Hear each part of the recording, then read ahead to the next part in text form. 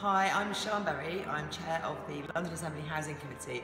We are investigating all the issues around property guardians in London. And what we want is if you've ever been, or you are now, a property guardian in London, we want to see what your living conditions are like. We want to see pictures of the, the bad things that are wrong with your properties and the nice things about them as well, if you have those pictures too.